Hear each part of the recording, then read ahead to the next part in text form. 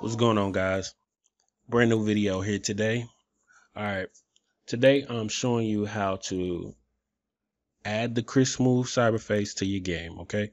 I have the link to the download files in the description. So go beneath this video, look in the description, click the link, download the files. I'm trying to break this down as easy as can be because um, sometimes people get upset that I don't explain things that they don't know how to do, but other people know how to do. So I'm trying to break this down for everybody to get this. All right.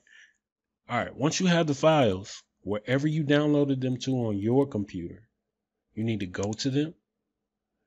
You need to right click on them and you need to extract the files. There'll be three files. Okay. Extract files here. Some people will have WinRAR, which they can extract with. Some people have 7-zip. I use 7-zip.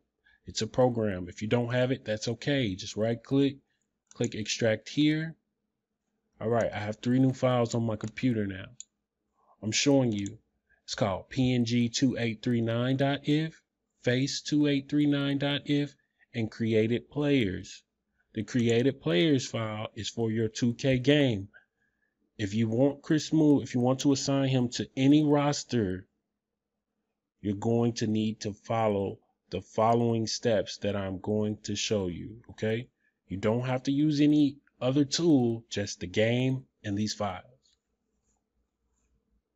All right. So the next thing you want to do is you're going to need to pull up your Steam folder, wherever you have Steam installed. Okay. So I have it on a different drive. It's not on my C drive. It's on my F drive.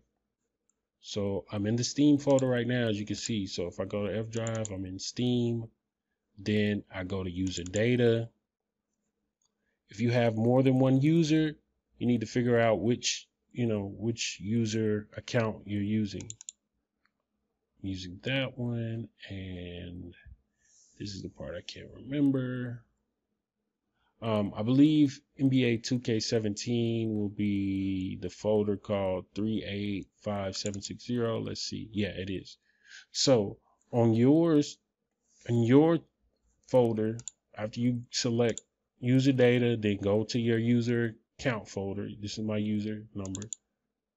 Then it'll be folder 385760. It should be the same for you. I don't know, but it should be the same because that's NBA 2K17 folder.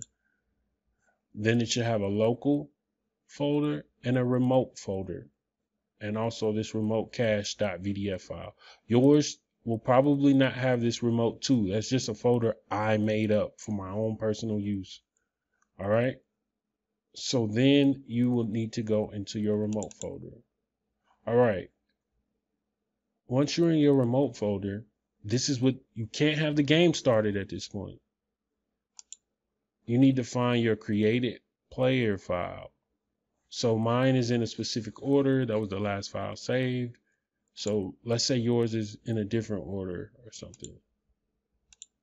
You just need to find it. You know, you organize it by name. It should be somewhere at the top. Created players. Here you go. So what you need to do is if you have a group of created players in your game that you created and you want to keep that list, you need to move this file to your desk. Uh, no, not to your desktop because on my desktop I have the other file. You need to move it to another folder basically. So for me, that's where my other folder, the remote 2 folder, comes in handy. I created that remote 2 folder just for this. So what I'm going to do is I'm going to right click created players. I'm going to copy the file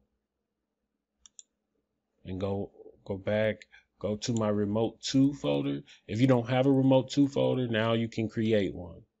Or you can create it doesn't have to be called remote 2 you can just create any new folder. You can just say folder name it placeholder or something. So I went into that new folder I created and now I pasted my created player file in there. Now back out go back to remote and this created player file that you just copied over to your new folder is now you have a backup copy. So what we're going to do is we're going to go back to the files that we downloaded, find the created player one that we downloaded and extract it. and move it into this folder. It says, do you want to replace it? Yes, you copy and replace. All right. At this point, um, now you need to move the the actual cyberface files into the game. So now, as far as your created player stuff, you're done. Okay. So when you open up the game, Chris Smoove is going to be in your created player list. He's going to be the only person there. All right. So then, so let me go to 2K17 and you would go to your modded folder. Give me a second here. So go to your modded folder. As you see, I have mods already assigned.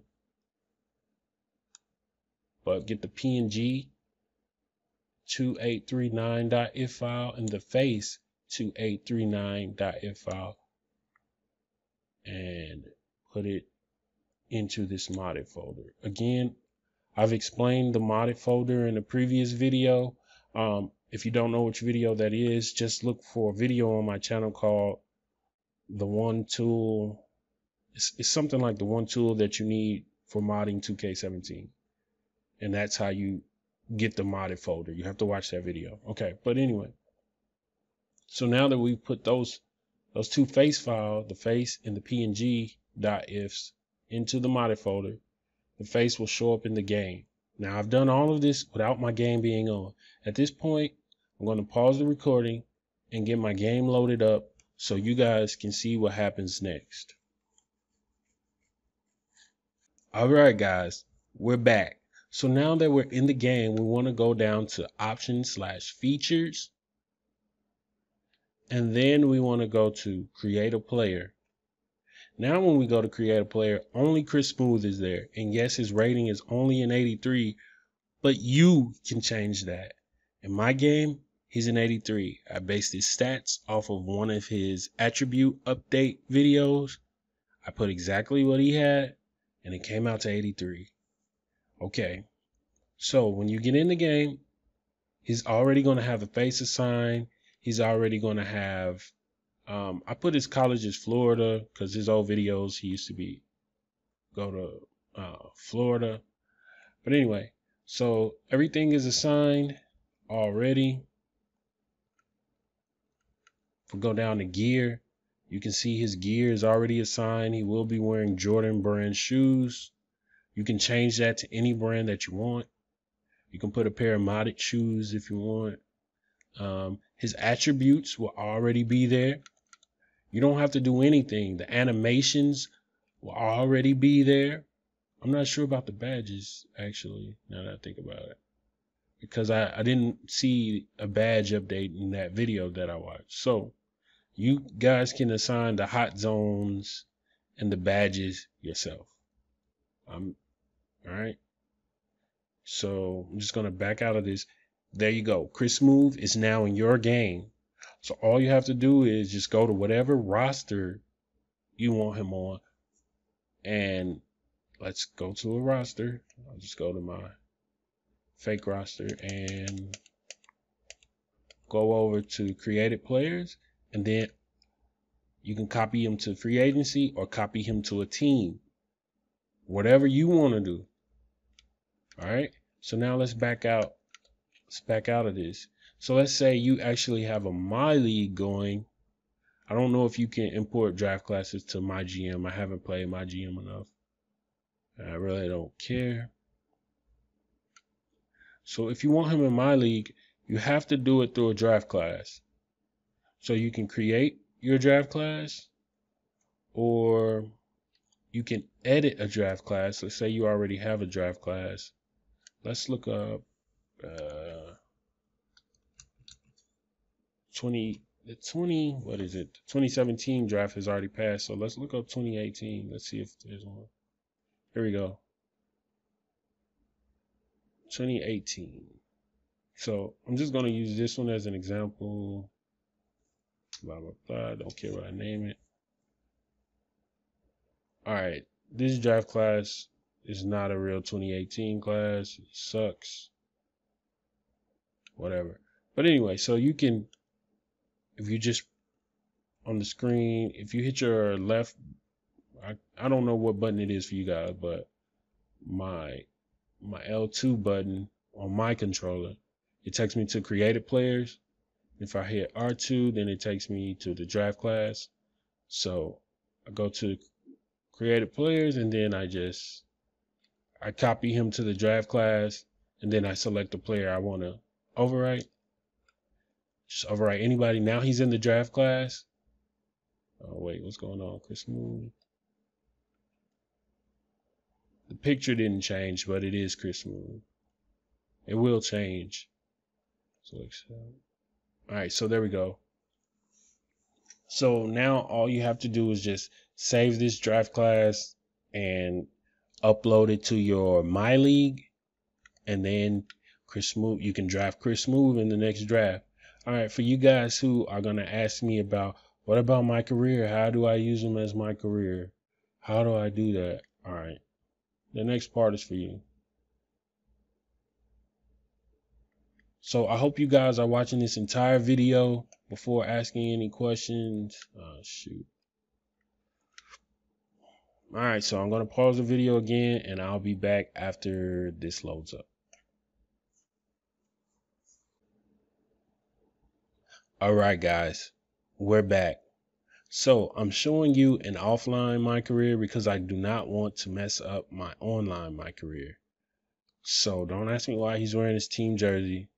It's because this is an offline my career. I'm not willing to mess up my online my career. All right, so once you're there, you want to get into the screen where you can look at stats, go to player stats, and then find your player. And here's my player all the way down here. He sucks. Well, anyway, I already have Chris Smoove's face assigned. And it doesn't assign the, um, it will not assign the gear like the headband and all of that. This method that I'm about to show you just assigns the face, okay? You have to put the gear on them in my career yourself. It's your career. All right, so here we go. So once you have him highlighted, now you will actually need a different tool, an external tool. You can use Limnono's Trainer. If you guys don't know what that is, then you're going to have to Google it. Sorry, guys. So I pull up Limnono's Trainer, press F1. I go to read highlighted player. It has my player's name there. Then I go to attributes and there I can change my last name. And if you watch, as I change it in the tool, it will change in game. Change the name to Smoove. Name is Rocky Smoove right now. Then I change the first name to Chris. Now it's Chris Smoove. Then go all the way over to Face ID right here. And whatever yours is, it's probably going to be a number one if you have a created player face. Just change it to 2839 and refresh roster list. And your picture might not change in game, but the player's face will change. All you have to do at that point would be to you would need to just back out of the my career. You would press exit or you know what? Let's see. Yeah you would press exit and it should save the face. And when you come back into my career it should have Chris Smoove's face at that point if it doesn't then just close the game reopen it and then load my career and it should have Chris Smoove's face all right I've um I've tried to give you guys everything I could explain. Oh, and let me explain one more thing. The reason why his face ID is 2389. Also, guys, make sure you close the no nose trainer after you use it. But back to what I was saying, the reason why his face ID, his uh, cyber face ID number is 2839 is because when the original files, they were PNG 2839.if and face 2839.if. That 2839 is the cyberface ID number, okay? You can change that or whatever. That's not what this video is about. I'm just explaining this particular face. All right, so uh, we've reached the end of the video. For you guys who want to know wait a minute, how do I get my other creative players back? How do I do that? How do I do that? All right, all right. Uh, what you want to do is, after you've assigned Chris Smoove to whatever roster, draft class, or my career, if you're assigning him to my career, you shouldn't even go through this creative players process. Okay. That's anyway. So if you did move the created player file, this is what you do. You want to pull pull back up that um that folder. Let's see. Here it is. You want to pull back up that folder that I told you to go to, Steam, user data, then your user ID number, then 385760 and remote. And this is while you have the game turned off. So now that you've moved Chris Smoove to whatever roster you want him on, blah, blah, blah, you want your old created player list back because maybe you have a few created players that you still want to assign to teams. So now you can just delete delete the created player file with Chris Smoove in it because you can download it anytime. You can come back to this video anytime and figure out how to do it. So now that we deleted it, remember we put it we put the original created player folder in a new folder in this placeholder. So go get that one, press cut, go back to remote and right click, paste it back in. So, so now there's our original created player list. So now when we restart the game, it'll have all of our original created players that we had, but it won't have Chris Smoove anymore. But Chris Smoove will already be assigned to whatever roster or draft class you want him in. So that's the complete tutorial. That is the complete tutorial. Um, if you guys have any questions or any problems, I'm open to answering questions here, but just know I can't get to every question and I won't be able to make a video on how to answer every question. So that's how you do it. If you guys like the video, give it a thumbs up, share it. I really would appreciate it if you guys shared it if you do like it, but thumbs up is good enough. And if you guys want me to release more faces like this to where you can just get them in the created player pool and just assign them to any team. If you guys want me to start doing that instead, or if you want me to do that when 2K18 rolls around, just let me know in the comment section. You guys have to comment and let me know if that's a good idea or a bad idea. Otherwise, I'll just do whatever the hell I was doing anyway. So, there you have it, guys. I hope you enjoyed more videos coming soon.